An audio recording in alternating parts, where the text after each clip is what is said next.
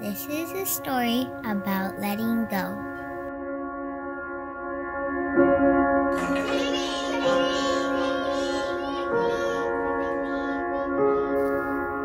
I want that one, Daddy.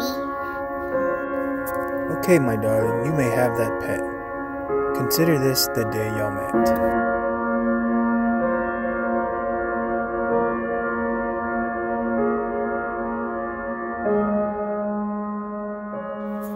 This is my new home.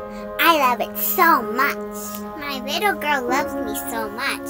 She, she feeds me every day.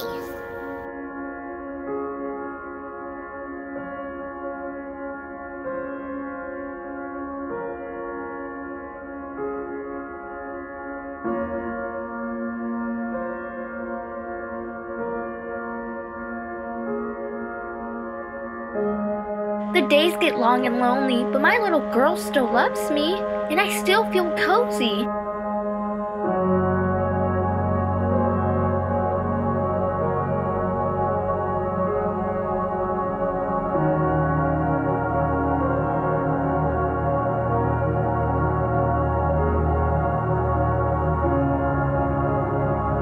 I'm really lonely and bored. My little girl doesn't talk to me anymore.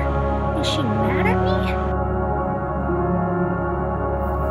I think she outgrew her home some time ago. I think it's time we let her go. I know. Let's take her to the pond that you love. Then, when we visit her, we can feed her from the bridge that sits above. Let me go? Oh no, I don't want to leave. I love my little home.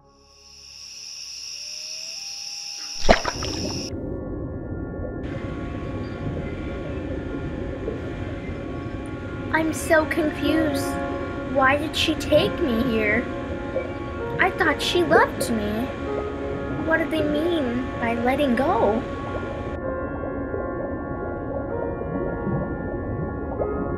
I finally understood what they meant about letting go, and I feel so much cozy now.